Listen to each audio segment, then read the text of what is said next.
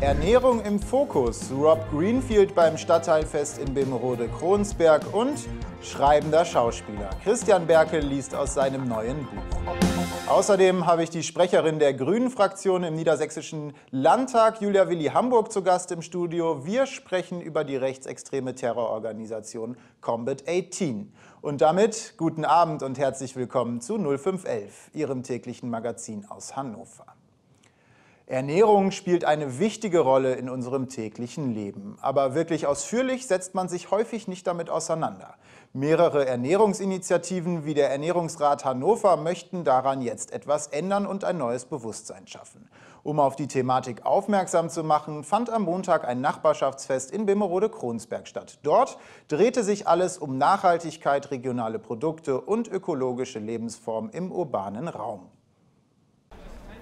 Umgaben, Aussehen, Verändern, selbst Teil des Wandels sein. Unter diesem Motto stand am Montag das Nachbarschaftsfest in Kronsberg.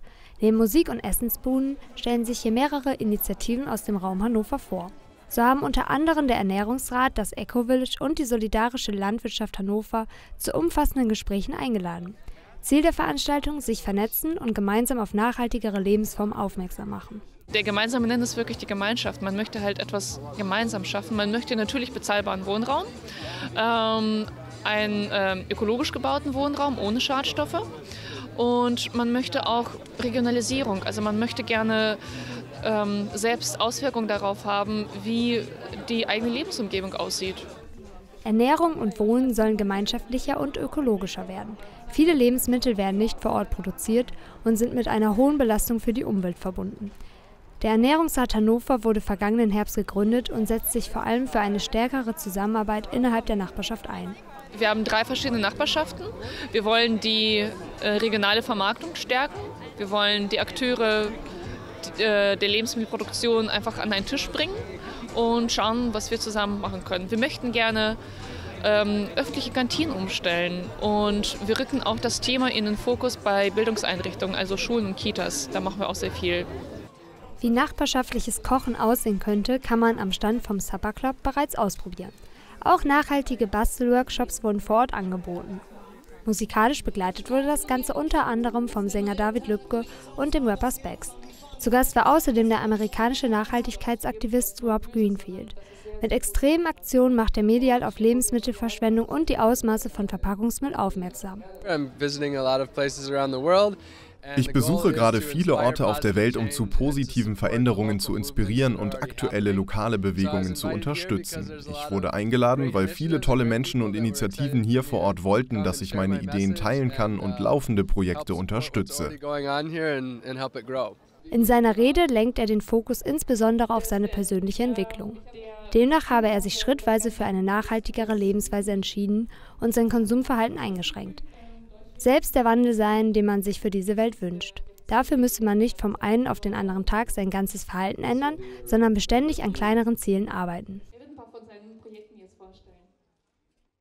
Und wir kommen zu den Nachrichten des Tages mit einem Update zum Coronavirus.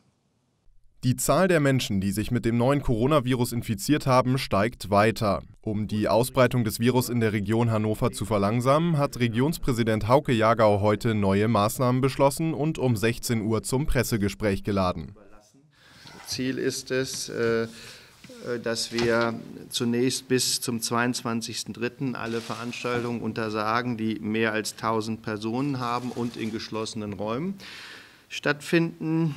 Äh, wir haben uns dazu entschlossen, weil wir eine veränderte Situation auch in Hannover vorgefunden haben. Wir hatten bis zum gestrigen Tag tatsächlich sehr klar zuortbare äh, Quellen. Insbesondere war das der Bezug aus Uetze, der dort feststellbar war. Wir haben jetzt mit dem heutigen Tag insgesamt 14 festgestellte bestätigte Infektionen und die Veränderung ist, dass diese unterschiedliche, wenn Sie so wollen, Quellherde haben.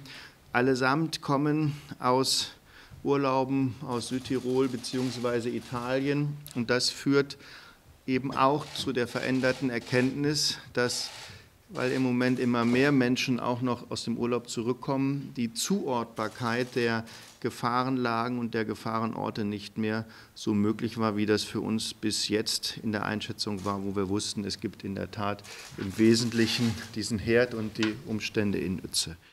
Der mutmaßliche Mörder vom ehemaligen Kasseler Regierungspräsidenten Walter Lübcke soll Kontakte zur rechtsterroristischen Vereinigung Combat 18 gehabt haben. Combat heißt Kampf und 18 steht für die erste und achte Stelle im Alphabet, die Initialen Adolf Hitlers. Die Gruppe ist nun verboten worden. Heute ist Julia Willi Hamburg von der Landtagsfraktion der Grünen zu Gast, um mit mir über die Kampftruppe Adolf Hitlers zu sprechen. Hallo Frau Hamburg, schön, dass Sie da sind. Combat 18 agiert international, hat oder hatte hier in Deutschland aber nur unter 100 Mitglieder. Warum ist oder war diese Vereinigung trotzdem so gefährlich? Die Vereinigung stammt ja aus dem Blood and Honor Umfeld. Die wurden ja bereits im Jahr 2000 verboten und die sind halt unglaublich vernetzt in die Rocker-Szene, in die kampfbereite Szene. Die Frage ist auch, ob wir überhaupt alle Mitglieder erfasst haben und die haben halt Terroranschläge geplant und gezielt auch Angriffe auf Institutionen in Deutschland und das hat sie so gefährlich gemacht. Ja, Combat 18 ist ja nicht die erste Vereinigung dieser Art, die hier in den letzten Jahrzehnten auf sich aufmerksam gemacht hat. Gibt's, warum schafft es der Verfassungsschutz nicht, diese Organisation einzudämmen?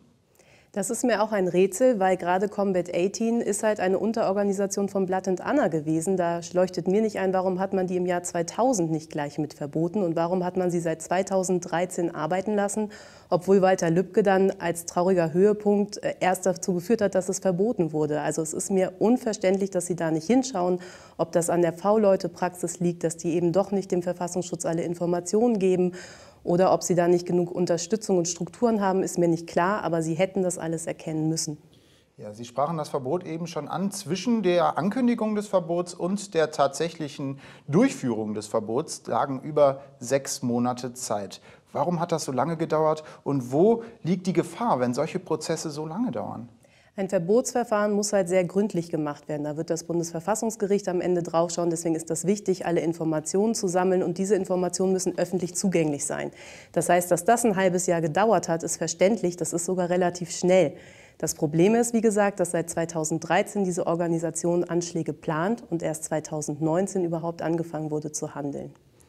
Ja, was meinen Sie, inwieweit die Politik und die Gesellschaft äh, genug tut gegen rechtsextremistische Vereinigungen?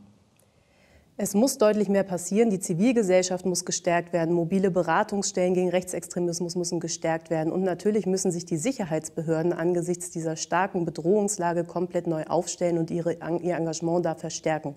Und es ist gut, dass Horst Seehofer angekündigt hat, dass er stärker in Verbotsverfahren gehen will.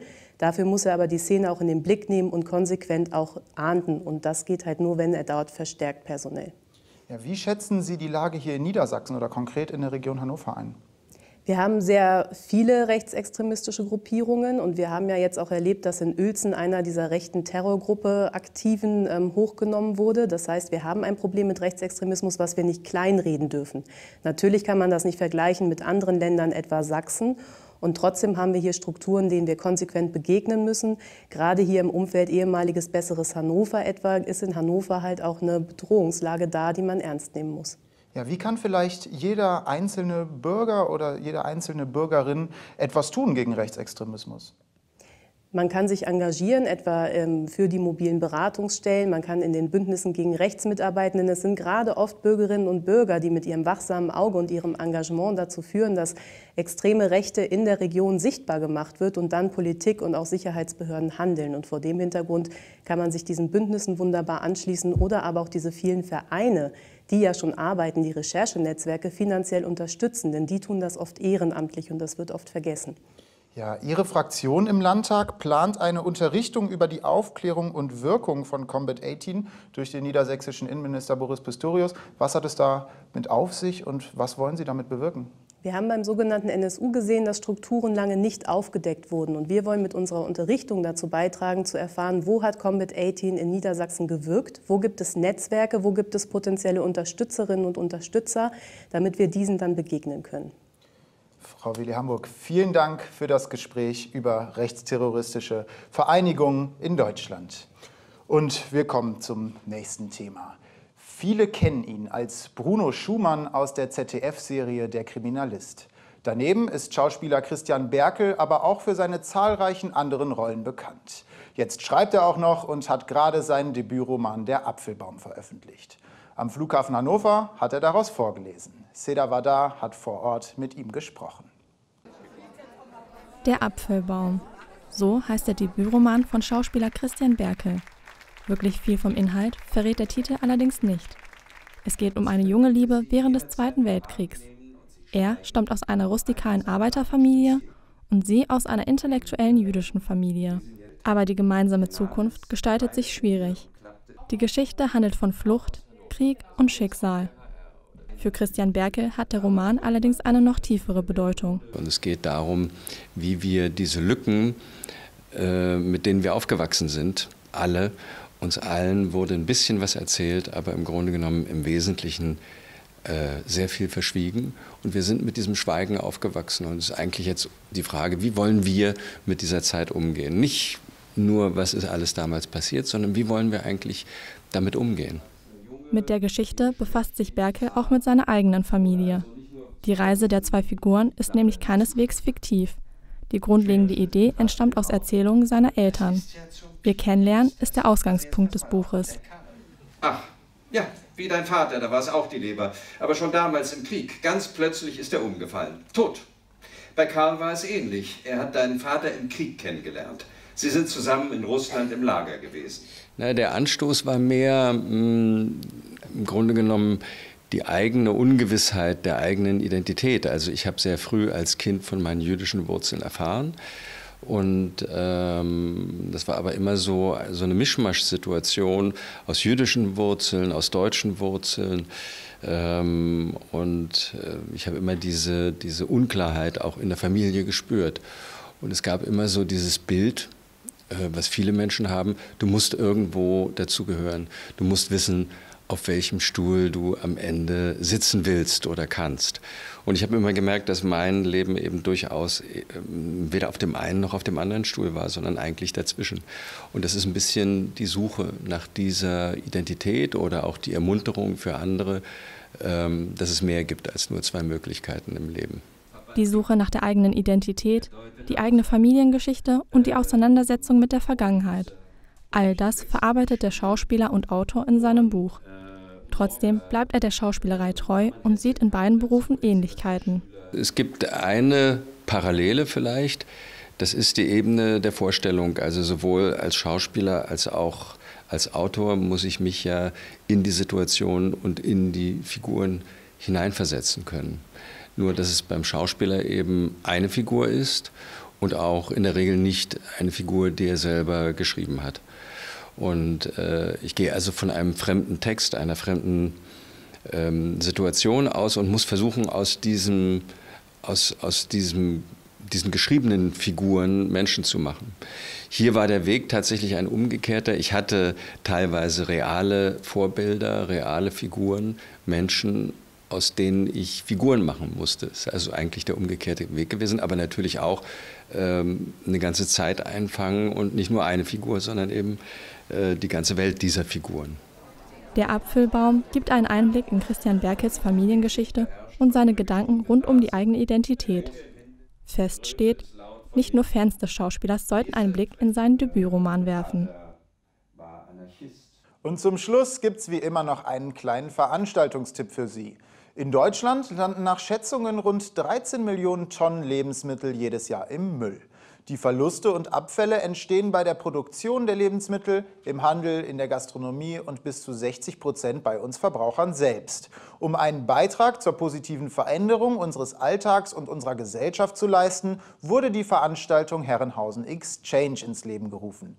Die Auftaktveranstaltung Ursachen und Vermeidung von Lebensmittelverschwendung findet morgen im Schloss Herrenhausen statt. Einlass ist ab 18.15 Uhr, der Eintritt ist frei, die Kapazitäten allerdings begrenzt. Und das war es auch schon wieder mit 0511. Morgen begrüßt Sie an dieser Stelle mein Kollege Felix Krügel. Ihnen noch einen schönen Abend. Vielen Dank fürs Einschalten. Machen Sie es gut. Tschüss.